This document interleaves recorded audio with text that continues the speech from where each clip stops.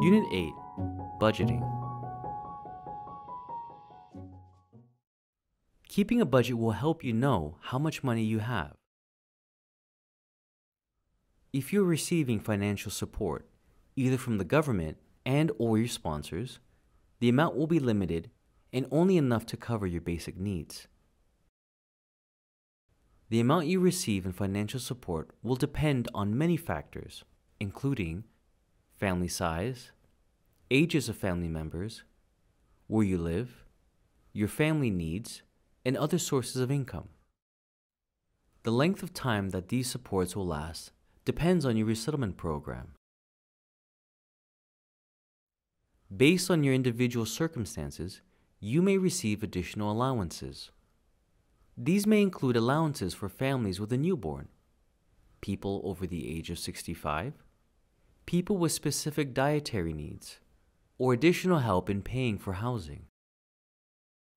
The cost of living differs depending on where you live in Canada. It can vary from one province and territory to another, between big cities and rural areas, and it might also vary depending on the neighborhood in which you live. Once you're living in your permanent home, you will need to pay for your basic living costs and other essential expenses, such as paying your rent and utility bills on time every month, and buying food. Keeping a budget can help you track how much money you have and can spend. Here are some useful tips to save money. You can share a house or an apartment with someone and pay part of the rent.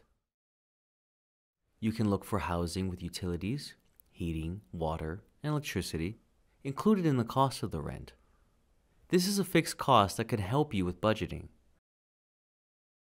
Otherwise, the cost of utilities is separate from your rent and will vary based on personal use. You can use public transportation instead of buying a car.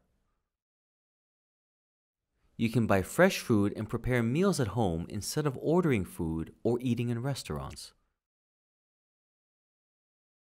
You can look for stores and products with the lowest prices and check store flyers for deals.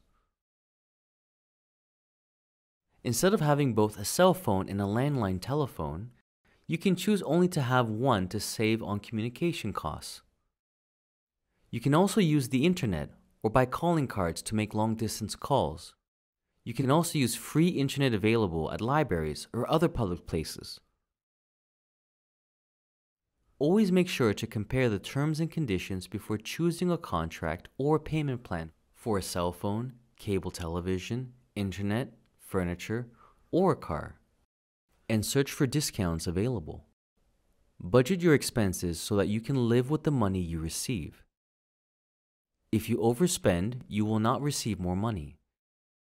Those who are supporting you can advise you on how to responsibly spend the limited amount of money you receive. For example, you can ask your government funded organization or your sponsors if low cost childcare is available in your community or share responsibilities with other parents. They can also tell you where to look for sales, how to use discount coupons, how to do comparison shopping, and how to find out about private sales. Having a realistic expectation regarding what you will be able to do with the money you receive will help you adjust to life in Canada. Thank you.